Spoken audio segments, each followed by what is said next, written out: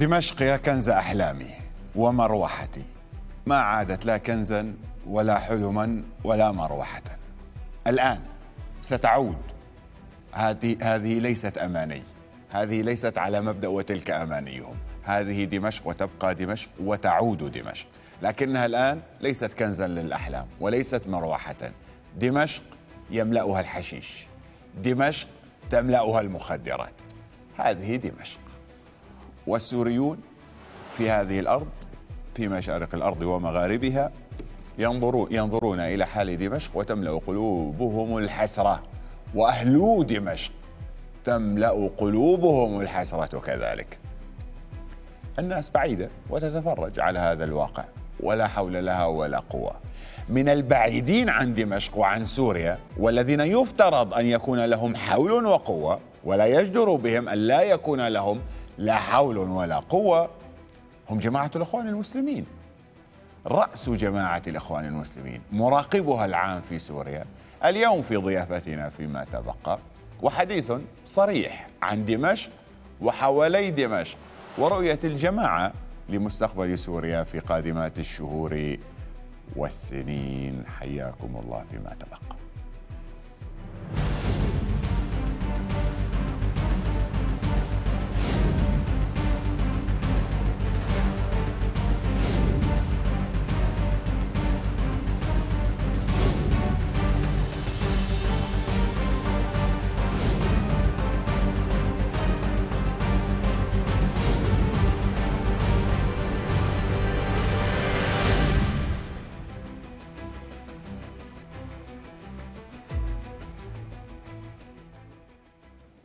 الحشيش والمواد المخدرة باتت مشهدا اعتياديا في دمشق وسط حالة من التراخي من قبل النظام وتشجيع من أجهزته الأمنية.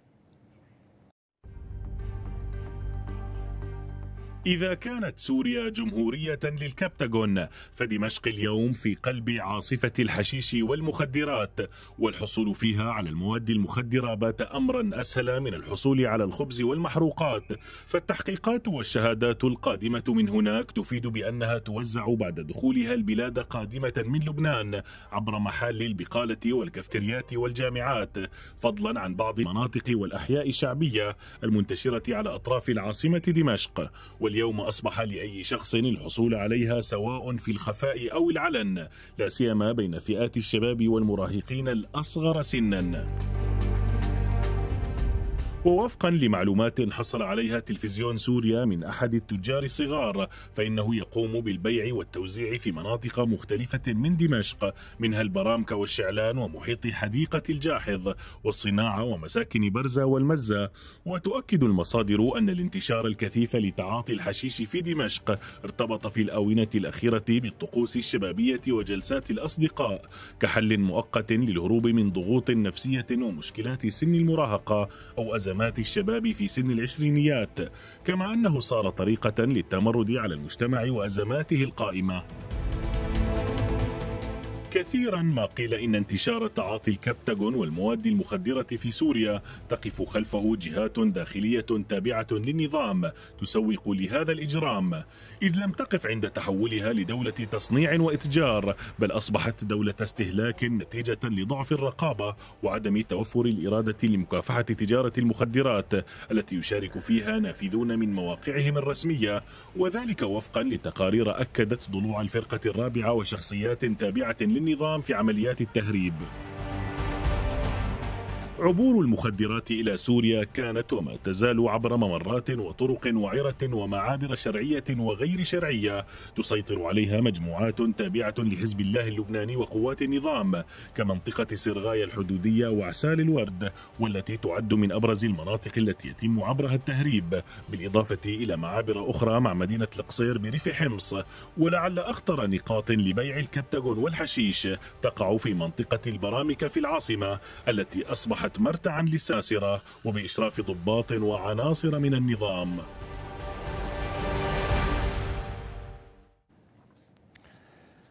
الواقع صعب جدا الحقيقة في دمشق. تحديدا في دمشق. هو في عموم المدن التي يسيطر عليها النظام الواقع صعب جدا في مسألة تعاطي المخدرات وانتشارها بين الشبان بين الفتيان والفتيات هؤلاء الذين في مقتبل العمر. هناك نسبة تعاطي ملحوظة. المصدر الذي تواصل معه موقع تلفزيون سوريا الحقيقة نقل كلاما من فئة المضحكات المبكيات. وكم ذا بمصر من المضحكات؟ هذه تحولت إلى دمشق الآن. وكم ذا بدمشق من المضحكات؟ ولكنه ضحك كالبكاء. قال لك هذا المصدر يقول لنا يعني طبعا وهذه الأخبار تترى يعني وعن عدول عن عدول عن عدول. وسندها ذهبي. يكاد يرقى أن يكون السند هذا الخبر الذي نقوله الآن يرقى إلى السند الذهبي. متواترة ولا سند متصل لا انقطاع به. طبعا الحشيش هناك أوزان يعني آه، من فئة 12 جرام وصولا إلى 50 جرام إلى 100 جرام ويسمونها المعجونة. مصدرنا مصدر أحد أهم المصادر في هذا في هذه المادة سيد اسمه من؟ أبو العلا الرفيق أبو العلا. الرفيق أبو العلا من هذا الرفيق أبو العلا؟ مبدئيا وصف لشكله هذا ملتحي له لحية كثيفة ويلبس آه، بدلة عسكرية وحذاء حذاء رياضي. واضحة الصورة هؤلاء يعني لحية على الغالب يكون أصلع. لم يذكر أنه أصلع لكن على الغالب يكون أصلعا أو تصلع مع بدلة عسكرية مع حذاء آه، رياضي أبيض. هذا حذاء رين هذا رائحته رائحة جواربه تفعل فعل الحشيش وأكثر. هذا لم يغسل جواربه منذ سنتين ربما. معروف ويكون يعني هيئته معروفة. الرفيق أبو العلا. هذا أبو العلا معروف. يوزع يوزع في الشعلان يوزع في الجاحظ يوزع في المزة يوزع في مساكن برزة وصولا للبرامكة ويعني تقريبا أحياء دمشق. أبو العلا آه، ما أهميته في هذه المادة؟ يقول لك نحن لا نخاف. أو الرفيق أبو العلا يقول نحن لا نخاف لا نخاف من أي دورية هو معه هوية أمنية.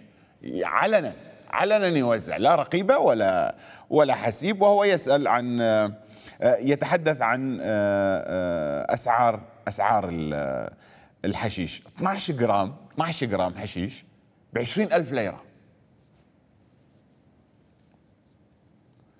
فقط. فقط. طبعا هو يغشها أبو العلا يغشها بالحنة يعني يخلطها.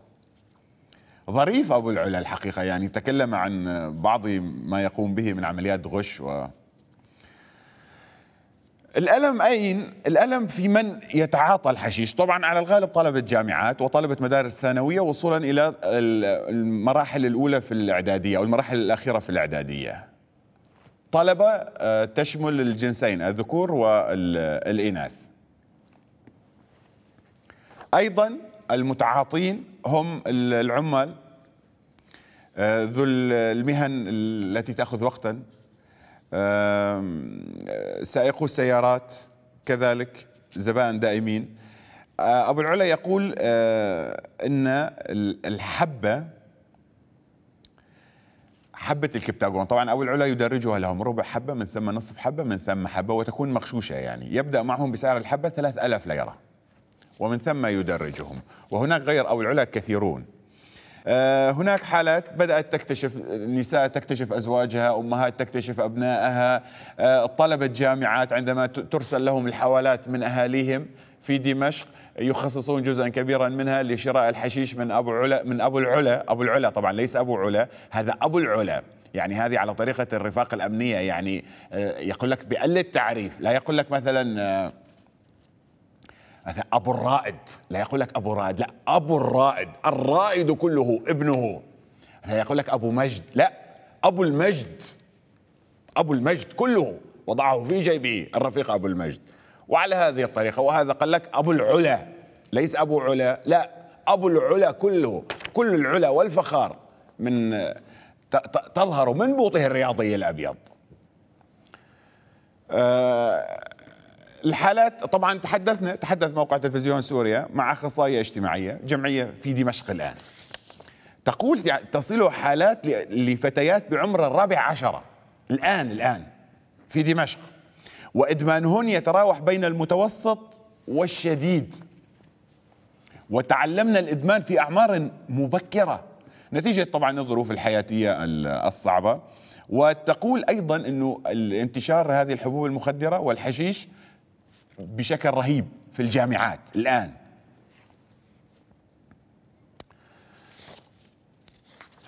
أيضا في هذه المادة آه، شيء شيء يعني شيء يعني هناك طالبة جامعية تروي للمصدر لمصدرنا أنه هي آه، قال تزداد تعاطي الحشيش في الأسبوع في الأسبوع الأخير من رمضان ما قبل العيد. هم ليس معهم أموال كي يذهبوا ويشتروا آه، ملابسا جديدة كي يذهبوا إلى مطعم. قال لك ما الحل؟ افتحها غرزة حشيش. الآن الأخطر الأخطر من ذلك تعامل النظام. هناك مصطلح اسمه الفكة بين تجار الحشيش. يضيف هذا المصدر. الفكة ما هذه؟ هي تتراوح من مئات الآلاف السورية إلى آلاف الدولارات من أجل التخلص أو النجاة من بعض. من دورية ما إذا اعتقلتهم وهم غير منسقين معها. هنا يقول لك مثلا أحد الحالات. هذا في قسم في التضامن. إذا تم اعتقال شاب يتعاطى الحشيش في حديقة مثلا يعتقل. يضرب ضربا مبرحا حتى يعترف على من يحشش معهم أو يعترف على من يشتري منه الحشيش. قال لك لماذا؟ لأنه سياد هؤلاء العناصر عناصر الشرطة الأمن الجنائي يعذبوه حتى يعترف على دائرة تصل إلى خمسة أشخاص. يأتي السيد الضابط المسؤول يعتقل هؤلاء الأشخاص الخمسة يقول لك الآن أتى الرزق. إما أن يدفع هؤلاء أو يحالون للسجن وتصبح قضية أخرى وتحتاج إلى رشوة أكبر وأكبر. فالدوريات الأمنية تتعاطى مع هذا الموضوع بهذه الطريقة. ويخرجون من السجن يعني في ليلتها. يعتقلون يدفعون الذي آه، يراد لهم أن يدفعوا ثم يخرجوا. طبعا يتم سحب أجهزتهم الخلوية أي شيء يحملونه ياخذه عناصر الشرطة الكرام. هذه أحد هذا عينة يعني غيض من فيض ما تتعامل به الاجهزه الأمنية في مسألة التعاطي. يقول لك قال عناصر الدوريات يخرجون لديهم الآن تقليد يومي يخرجون للحدائق ليلا لأنهم سوف يمسكون متعاطين من أجل أن يأخذوا منهم اموالا أو يدلوهم على دائرة الخمسة هذه من أجل أن يأخذوا اموالا أكثر للسيد الضابط. أي أن الأمر في دمشق في حدائق دمشق ليلا منتشر انتشارا مخيفا. مثلا هناك انتشار للمسكنات القوية يعني أيضا يتم ليس فقط الحشيش يعني البيوغالين هذا مسكن عصبي قوي أيضا طبعا الترامادول آه، منتشر. آه، البيوغالين هذا آه، الوطني العلبة العلبة ذات الثلاثين حبة لا يتجاوز سعرها ستة آلاف ليرة. منتشر هذا. هناك حالة للحاج غدير. الحاج غدير ما من هو الحاج غدير؟ هذا حاج من الحجاج الإيراني. ما الحاج فلان والحاج علان وكل هذه الحجاج الجميلة تملأ دمشق الآن. من الآن في دمشق؟ غير هؤلاء الحجاج. هم أصحاب البيت. هؤلاء هم هم أصحاب البيت. حتى ما يقال سابقا يعني أن طائفة الأسد أو جزء من طائفة الأسد هي الطائفة الحاكمة. لا الآن خسرت الموضوع. الآن سحب الوسط من تحتها. الحكام الآن في دمشق هم هؤلاء الحجاج. الحاج غدير وأمثاله. قصة الحاج غدير. ما هي قصة الحاج غدير؟ قصة سهلة قصة الحاج غدير. قصة الحاج غدير آه، أحد أحد التجار أحد تجار المخدرات اعتقل.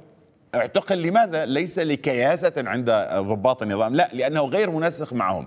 لأنه تحتاج أنت كتاجر مخدرات الآن في دمشق أن تنسق مع ضباط القسم في هذا الحي وفي ذلك الحي.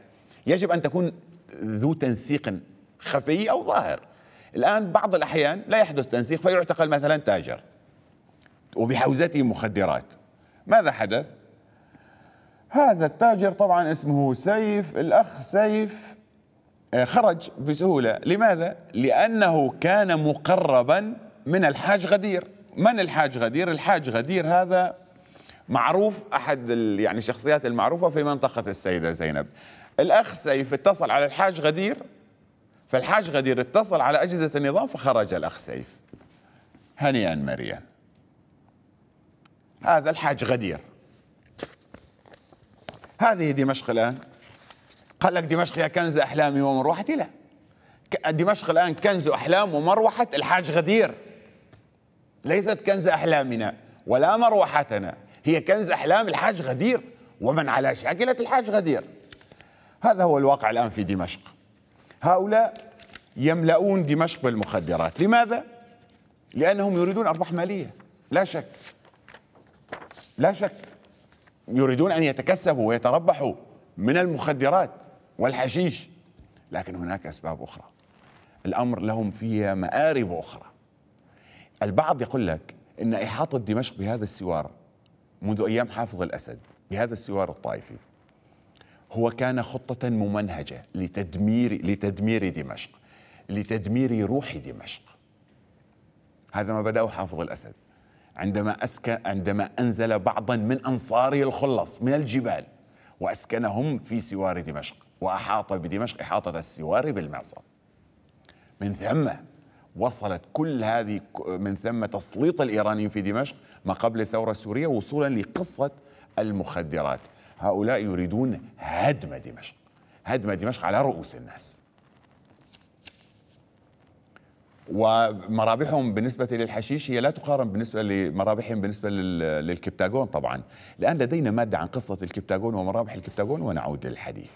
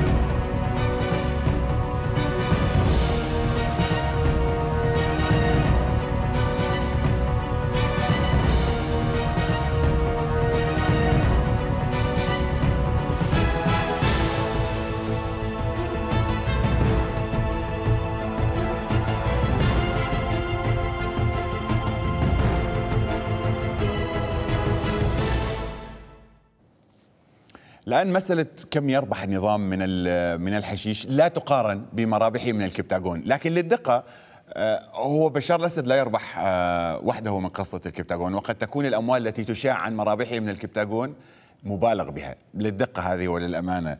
آه، هو معهد New Lines أصدر تقرير يعني الأشهر أشهر تقرير معهد تقرير معهد New Lines وقصة إنه بشار الأسد يعني ربح تقريبا وسطيا 5 مليارات في 2021 ومن ثم ظهرت تقارير تقول لك لا بشار الأسد ربح 57 مليار.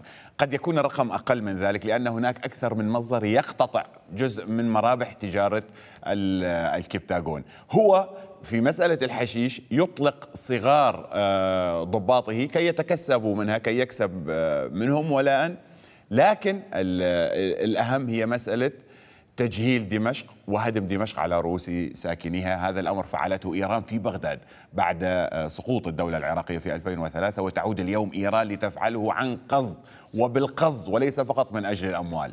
كي تحول دمشق إلى بغداد ثانية. يملاها الهيروين والحشيش والمخدرات والكريستال والأنفيتامين وكل هذه الأشياء والترامادول وكل كل هذه الأشياء. الآن دمشق هي دم... سائرة على طريق بغداد حذو القدرة بالقدرة. هذا ما تريده آه، إيران من هذا ويضمن طبعا بشار الأسد ولاء عناصره. هذا هو واقع دمشق الآن. قد يقول بعض قد يقول قال هناك في الأمر مبالغة. نحن نسأل الله سبحانه وتعالى أن يكون في الأمر مبالغة وأن لا يكون حال دمشق. هذا هو الحال. نحن نعلم دمشق في في ذهننا دمشق دمشق الجميلة. عبد الرزاق عبد الواحد الشاعر العراقي الكبير آه، هو عاش في دمشق.